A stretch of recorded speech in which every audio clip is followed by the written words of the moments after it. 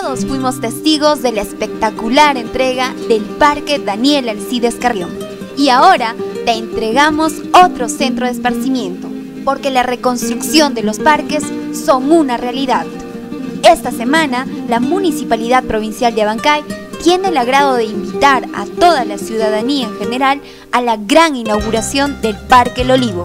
Todos seremos testigos de la entrega de esta obra, con un nuevo diseño arquitectónico, con mayores áreas verdes, juego de aguas y luces LED acorde a la modernidad de nuestro país.